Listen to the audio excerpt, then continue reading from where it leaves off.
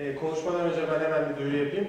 Şimdi TTNet Wi-Fi açıldı. E, abone olmayıp direkt giriş yapabiliyorsunuz. Size şifre veriyor. O şifreyle bağlantı yapabilirsiniz. Teşekkürler. Buyurun. Herhalde buradan konuşalım.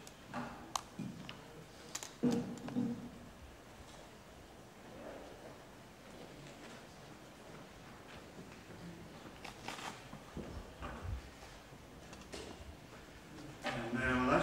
Ee, Böyle genç bir topluluğu görmek gerçekten e, güzel. Ee, Pazartesi sabahında bu kadar erken bir saatte. Aslında arkadaşlar daha büyük salonda yapmak istiyorlar. Biliyorsunuz Kemal Kırbaş salonumuz var. Orası 800 kişilik. Orada 100 kişi, 200 kişi bile olsa çok ufak görünüyor. O nedenle burada yaptık ama herhalde Kemal Kurdaş'ta da açılışı yapabilirmişiz. Öyle görünüyor. Şimdi e,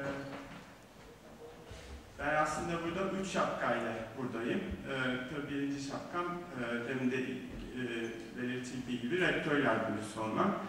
E, rektör yardımcılığında benim üç tane sorumluluğum var. Birincisi araştırmalar, ikincisi teknokent, ODTÜ teknokent, üçüncüsü de e, kampüsteki bilgi teknolojileri e, servisleri, hizmetleri. Üçü de aslında bugünle uyuşuyor, üçü birden. E, ikinci şapkam ODTÜ Teknokent'in sorumlu olan ve oranın yönetici şirketi olan Orta Doğu Teknopark AŞ'nin yönetim kurulu başkanı olmam. Bunda birazdan konuşmanın e, büyük bir kısmında ağırlığını göreceğiz. E, Üçüncüsü de e, Orta Doğu Teknik Üniversitesi Bilgisayar Mühendisliği bölümünde öğretim üyesiyim. Aynı zamanda orada gömülü sistemler dersini veriyorum. Bir parça gene bugünle ilintili.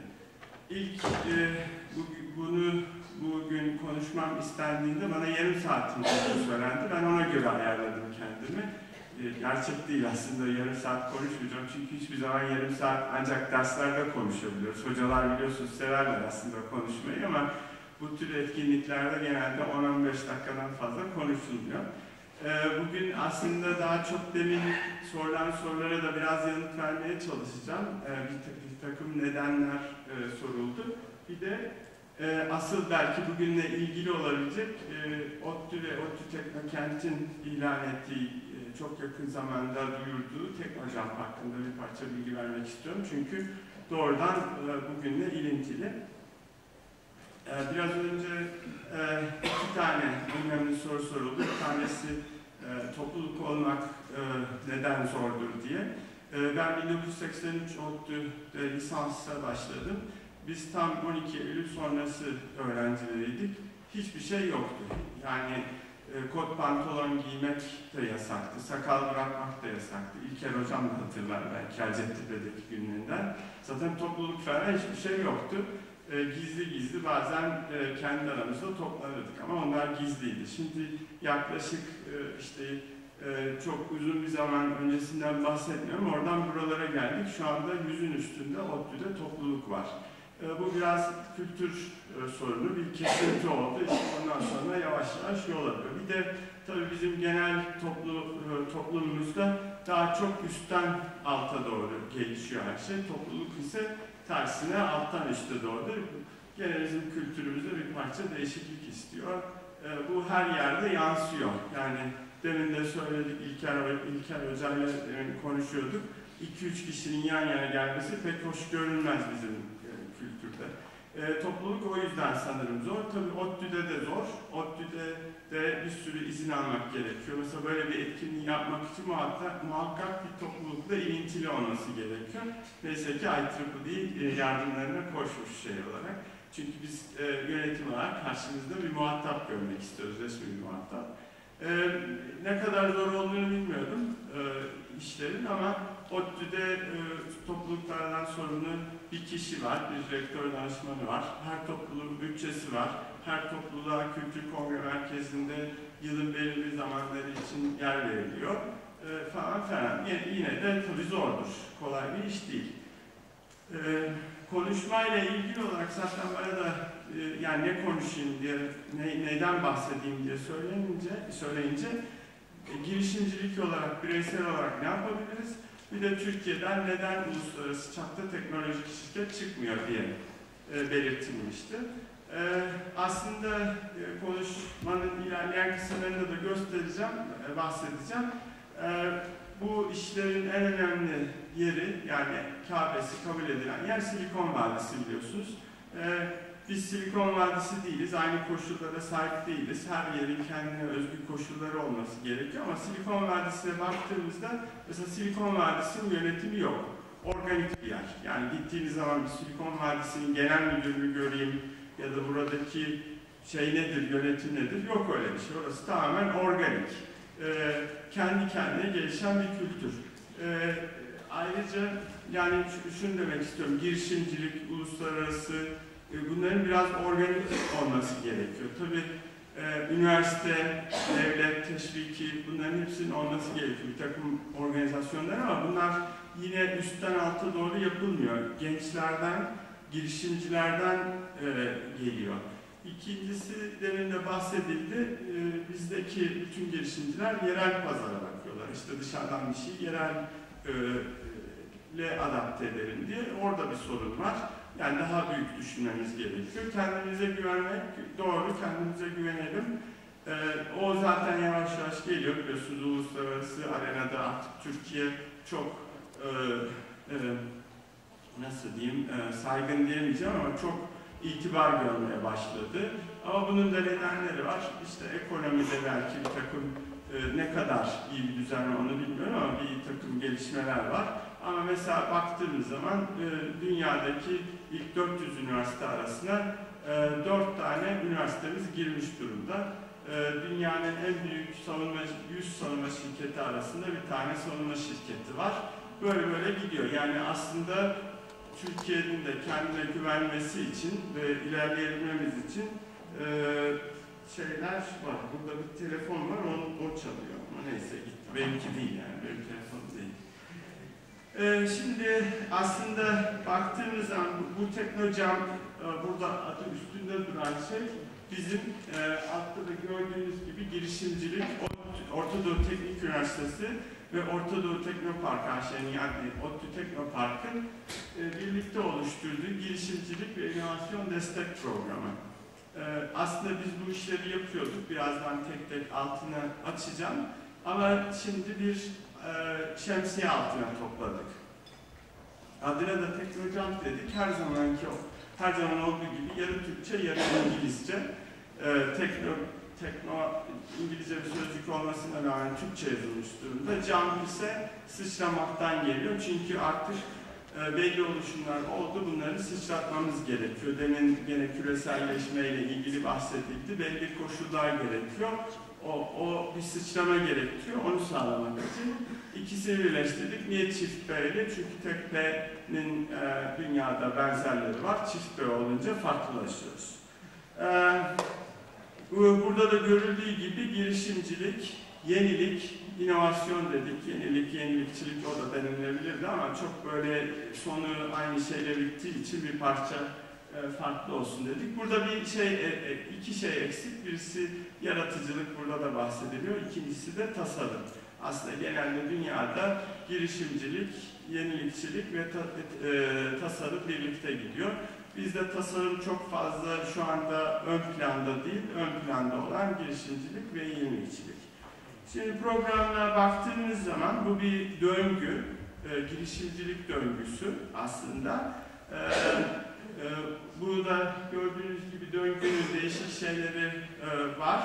E, ilk baştaki şey farkındalık arttırma. Yani girişimciliğin önemini e, özellikle lisans öğrencilerine ve lisansüstü öğrencilerimize anlatabilme, merak etme, sorgulama, kültürü, ihtiyacın tespit edilmesi. Çünkü e, çok görülen bir şey birazdan anlatacağım ve iş fikri oluşturma. İhtiyacın tespiti şöyle, hepimiz çoğunlukla teknik insanlarız. E, iyi teknolojiler üretebiliyoruz ama gerçekten ürettiğimiz şeyler pazarda satılabilir mi? Bunlar e, gerçekten ihtiyaç olan şeyler mi?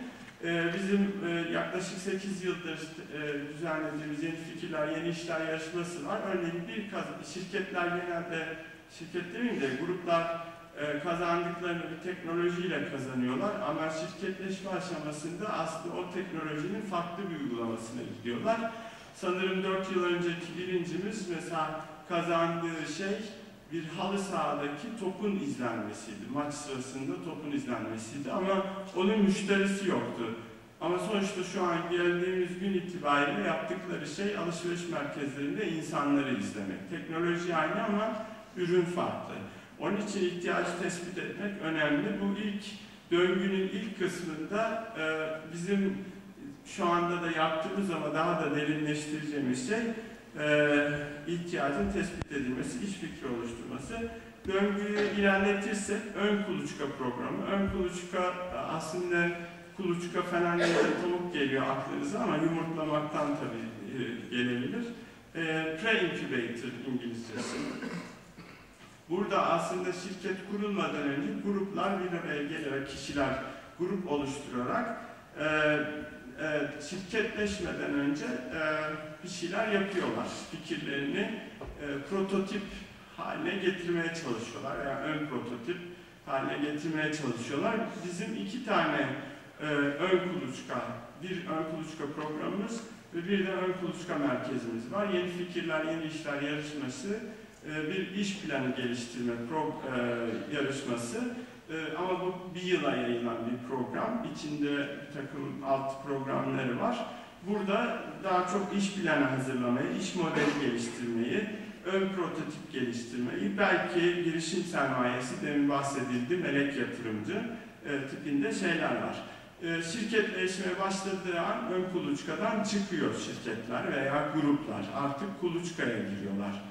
E, bir yeni fikirler, yeni işler atomdan birazdan bahsedeceğim.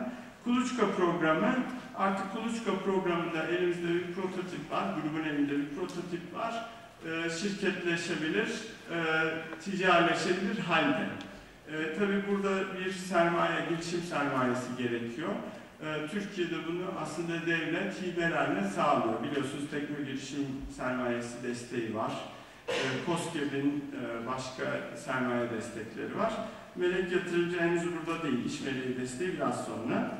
E, şirketleşme, e, iş meleği e, Business Angel'dan yatırım alınabiliyor veya devletten destekler alınabiliyor ve ticarileşmeye başlıyor. Ticarileşmeye başladığı anda artık kuluçkadan da çıkabilir. Kuluçka bizim e, Orta Doğu Teknik Üniversitesi'nde e, COSGAP ile birlikte 20 yıldır işlettiğimiz e, teknoloji merkezimiz var, Tekmer. Yani her zaman, herhangi bir zamanda 45'e yakın e, şirket orada kuluçkada e, geliş, geliştiriliyor. E, bir şeye dikkatinizi çekelim. E, bu döngüdeki e, parçalar birbiriyle üst üste gelebiliyor. Çünkü bu bir sürekli bir e, işlem, e, bir kesik işlem değil. Daha sonra şirket kurulduktan sonra asıl sorun orada başlıyor. E, çünkü buraya kadar genelde bir takım destekler var. Artık e, bundan sonra ayağınızın üstünde durmak zorundasınız. Hızlandırıcı, accelerator. Bu da çok bilinen bir şey. Artık ondan sonra bir parça kurumsallaşmak, bir parça ayakta durabilmek gerekiyor. Burada da görüyorsunuz risk sermayesi, venture capital. Önce iş meleği yatırım alındı, daha sonra venture capital veya başka bir şekilde venture capital olması gerekmiyor. Daha büyük bir sermaye gerekiyor çünkü şirket büyüyor artık, daha fazla kişi alıyor.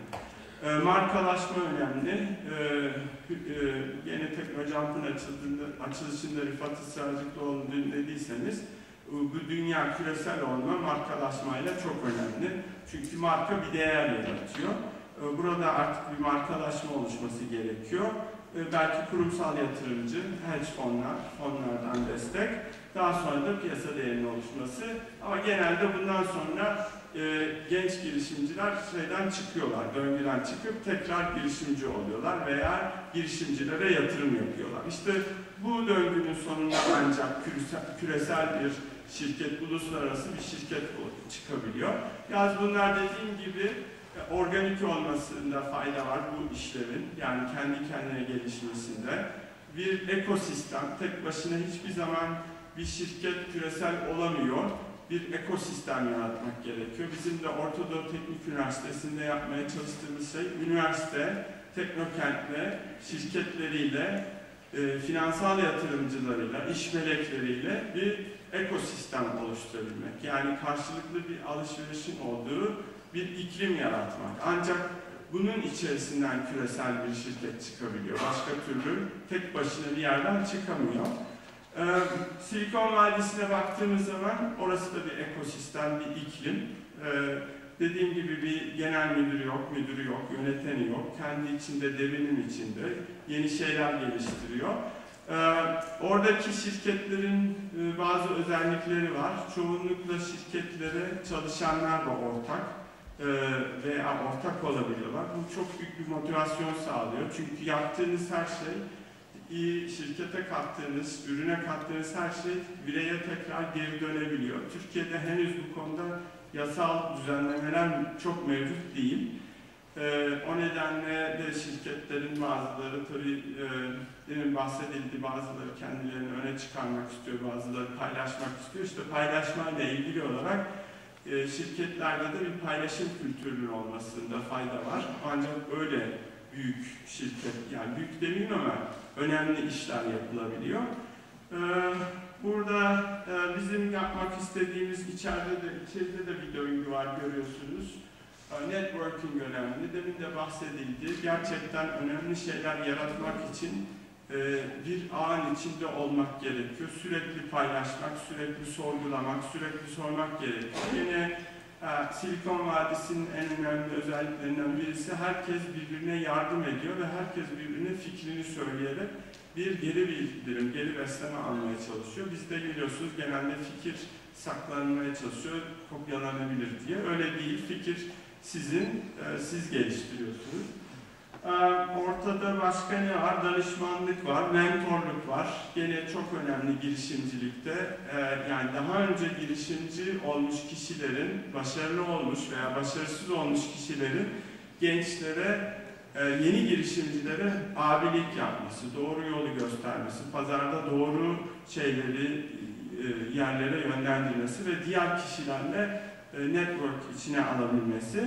E, genelde bu uluslararası piyasada mentor olanlar ayrıca şirkete de belli bir finansal yatırım ve ortak yapabiliyor, ortak olabiliyorlar. Bu da bir model. İlla böyle olması gerekmiyor ama o da bir model. danışmanlık önemli. İşte son döngünün son kısımlarında markalaşma ve diğer finansal yönetim organizasyonel yönetim, uluslararasılaşma dediğimiz zaman artık e, kişiler kendi başına yapamıyorlar. Bir danışma e, ve yönetim modeli gerekiyor. E, gördüğünüz gibi dış tarafta bir takım şeyler belirtilmiş. Bu lisans, yüksek lisans öğrenciler için, daha sonra lisans, yüksek lisans öğrencileri ön kuluçka, işletmeler, akademisyenler kuluçka programı, işletmeler, akademisyenler son döngünün son kısmında. Ee, burada COSGAP'in şeylerini, bu bizim kuluçka merkezini anlatıyor. Maddi destekleri var kuluçka merkezinde, ücretsiz ofis alanları var. Yeni fikirler, yeni işler yarışması, dediğim gibi gene bir ön kuluçka programı. Ee, bu Türkiye'nin ilk teknoloji tabanlı iş fikri yarışması. Bu sene rekor sayıda 400'ün üstünde başvuru aldık. Bu 420'ye indiriliyor. Daha sonra eğitimler başlıyor. 10 aylık bir şeyi var. 8 yıldır sürdürülüyor. Genç girişimcilere bir toplamda 1 milyon TL'ye yakın e, destek, karşılıksız destek veriliyor. E, e, sekizincisi bu, e, 16 tane şirket kuruldu. Bazıları başarılı, bazıları başarısız. E, burada şunu söylemek istiyorum, gene neden küresel şirketler çıkmıyor da bir, bir sorun daha var. Bizde başarısızlık e, toplumda yani şirket kurdunuz, girişimci oldunuz, başarısız olduğunuz toplumda yalnız toplumda çok büyük başarısızlık olarak görülüyor. Halbuki örneğin Silikon Vadisi'nde başarısızlık bir deneyim olarak görülüyor. Hatta yatırımcılar başarısız olan girişimcilere daha fazla yatırım yapıyorlar. Çünkü ders almış olacağını şey yapıyorlar. Burada bizim genel kültürümüzde bir engel var orada. Hatta şirkette başarısız olana kız vermezler biliyorsunuz. Yani şirket kurup şey yapmış olana. Burada bir değişiklik gerekiyor. Ee, ikinci ön kuluçka e, şeyimiz, programımız Animasyon Teknolojileri ve Oyun Geliştirme Merkezi. 2007'den beri operasyonel. Ee, bu arada söyleyeyim 1 Temmuz'a kadar başvuruları bekliyor. Ee, Burada e, biz gene Orta Doğu Teknik Üniversitesi ve Orta Teknokent olarak bir öncülük yaparak e, ilk ön kuluçka programını yaptık. Ee, Buradan da bildiğim kadarıyla 6 tane, 7 tane şirket mezun oldu, 7 tane şirket kuruldu. Şu anda 6 şirket 9 projesiyle devam ediyor. Burada yer veriyoruz, e, destek veriyoruz. Sanırım 52 gün kadar e, eğitim veriliyor. E, Burada şimdi gelecek sene açıklanacak e, Türkiye'nin büyük şirketlerinin de destekleri olacak. Belki yurt dışından da ayrıca destek olacak. E, Bu sizi tam ilgilendirmeyebilir ama teknoloji transferi dediğimiz şey üniversitelerde bilgi ve araştırma yoğun. Bunun e, bunun teknolojiye ve üretime dönüşmesi gerekiyor. Bunun için de teknoloji transfer ofisimiz var. Ee, akademisyenlerin buluşlarını patentleyebiliyor, lisanslayabiliyor. Ee, şu ana kadar 60 tane patent başvurumuz var ODTÜ için. Ee, bunların 8'inin de patentini aldık. İkisi de ticarileştirdi. Yani iki tanesi de yurt dışındaki şirketlere o patentler lisanslandı. Ee, önemli bir şey Business Engine Network, Türkiye'deki ilk melek yatırımcıları ağı. Ee, e, geniş bir yatırımcı ağımız var. Finansal çözüm ortağı. Burada önemli olan melek olabilmesi. Melekler genelde 50 bin lirayla 1 milyon lira arasında yatırım yapıp belli bir süre kalıp çıkıyorlar. Ee, ama yatırımları sadece finansal yatırım değil, network'e de network içine almak, mentorluk yapmak da oluyor. Şu anda bildiğim kadarıyla iki tane e, yatırımımız oldu. Bu yatırımın iç, bu melek ağının içinde e, Koç'un Inventram e, şirketi de var. E, ben aslında buralarda bitiyor ama bir, birkaç bir şey daha söylemek istiyorum. E, Atom başvuruları 1 Temmuz'a kadar. E, e, demin de dediğim gibi aslında Türkiye'den uluslararası şirket veya küresel şirket çıkması için ekosistem olması gerekiyor, iklim olması gerekiyor. Türkiye'de bunun parçaları var. Örneğin devletin epey fazla teşviği var bu konuda.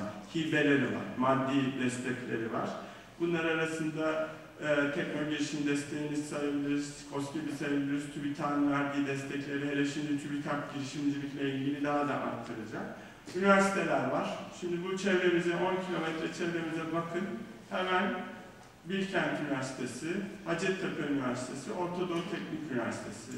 Dünyadaki sayılı üniversiteler. Her birinin teknoparkı var, her birinin kuluçka merkezi var. Ee, çok genç insanlar, hepsi çok iyi üniversiteler.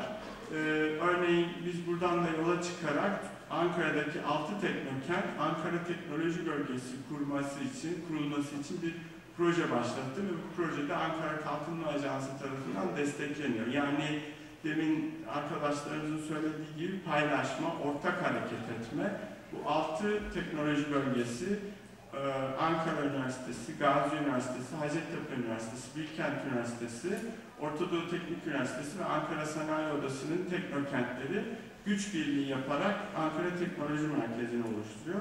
Bu da var. Üniversitelerde büyük bir bilgi birikimi var, büyük bir insan kaynağı var. Şirketlerimiz var. Bu üç teknokentte Bilkent, e, Hacettepe, ODTÜ e, çevresinde yaklaşık 500 tane şirket konuşlanmış durumda. E, Örneğin ODTÜ'de 250 şirketin 100, 100'ün üstündesi ODTÜ Teknokent'teki ilk defa burada kuruldu. Bunlar büyük, önemli sayılar. Yaklaşık bu üç teknokentte e, sanırım 6 bin, 7 bine yakın kişi çalışıyor. Bunlar büyük rakamlar, önemli rakamlar. Finansal olarak da dediğim gibi e, iş melekleri var veya değişik destekler var. Yani şey oluşuyor e, daha çok e, burada bir ekosistem oluşma durumunda. Bir, bir şeyi daha söylemek istiyorum. Niye bu böyle bir şey İstanbul'da değil Ankara'da yapılıyor? Onun da nedeni basit. Ankara'da üniversiteler daha etkinler. Ee, aslında Türkiye'nin e, bilimsel başkenti Ankara daha çok. Bakarsanız üniversite yayınlarına, çıktılarına, projelerine e, ve burada İstanbul'a göre daha fazla bir odaklanma var. O nedenle burada e, teknik odaklanma da var. O nedenle burada. Ee, Son bir şey olarak da girişimcilere önereceğim şeylerden birisi Steve Jobs'ın 2005 yılında Stanford Üniversitesi'nin mezuniyet töreninde yaptığı konuşmayı e, dinleyin. Yani onu birçok kere e, izleyin. Orada birçok önemli e, şeyden bahsediyor. Önemli noktalardan bahsediyor. Başarısızlıktan bahsediyor. Kendisi de biliyorsunuz Apple'dan kovulmuş, tekrar geri gelmiş durumda e, noktaların birleştirilmesinden bahsediyor. İ- Hayatta her şey e, e, bir işe yarıyor ileride. Mesela onun üniversite okuduğu sıralarda aldığı kaligrafi dersi, güzel yazım dersi Apple'ın fontlarını oluşturmuş daha sonrasında. Ondan bahsediyor.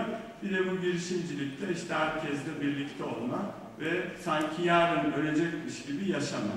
E, bireysel olarak ne yapabiliriz? E, bahsedildiği gibi network içinde olun, sorun, sorgulayın, sürekli e, etrafınızı sorgulayın, sorun. E, bu networkler içinde oldukça işte demin bahsettiğim gibi değişik şanslar karşınıza gelecektir. Bugün burada da önemli bir network var, önemli bir etkinlik var. E, bu etkinliğinde e, çok başarılı olacağına inanıyorum. Orta Doğu Teknik Üniversitesi ve Orta ODTÜ Teknokent olarak Tabii biz burada olmaktan çok büyük e, sevinç ve gurur duyuyoruz. E, bu e, e, etkinliği e, düzenleyen genç arkadaşlarımıza ve destek veren tüm şirketlere tekrar teşekkür ederim. Hepinize güzel bir iki gün dilerim.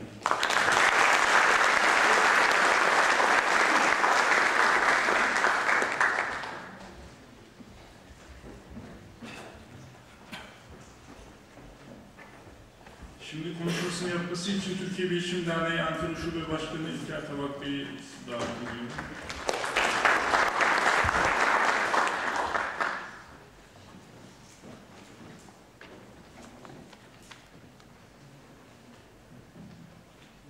Evet. Değerli arkadaşlar, sayın rektörüm, değerli meslektaşlarım, sevgili gençler, hepinize saygıyla selamlıyorum.